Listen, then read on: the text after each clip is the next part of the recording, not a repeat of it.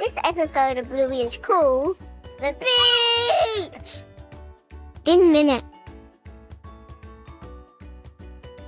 Bluey, Bingo and Dad pull up to the beach on a skateboard as Mum walks slowly behind. Once they get to the sand they commence the activities that most Australian families do upon arrival at the beach. Delight in the texture of the sand, apply sun cream and zinc, set up the sunshade, play jump the waves, soak up the sunshine, make sandcastles, and bury your siblings' legs in the sand in a mermaid tail.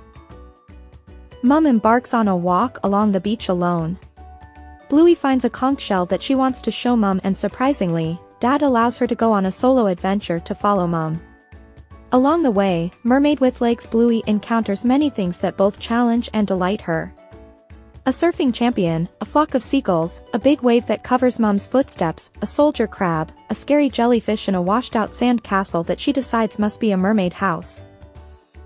At one stage Bluey realizes she's too far and out of hearing distance from both mom and Dad. Now, truly alone on her walk, she must summon all her courage when she encounters a beady-eyed pelican. Bluey politely asks the cheeky pelican to move, but he stubbornly refuses, making her think she'll have to turn around. However, she luckily spies Mom's footsteps re-emerge in the sand and gives herself a big mermaid girl pep talk to creep around the scary pelican. As Mr. Pelican flies off giving us a beautiful vista of a typical quiet, Aussie beach, Bluey catches sight of Mom, and they run to meet up. After regaling Mom with her heroic solo adventure, they walk back along the beach hand in hand and Bluey observes that she too enjoys walks on her own, however walks with a loved one are special too.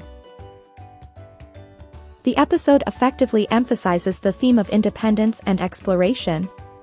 Bluey's solo adventure along the beach showcases her desire for autonomy and her ability to navigate challenges independently. However, her reunion with Mum underscores the importance of cherished connections. Overall, the episode provides a valuable lesson for children about the balance between independence and the comfort of companionship. Thank you all so much for joining us today.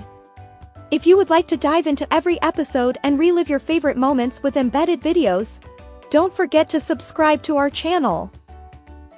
See you next time.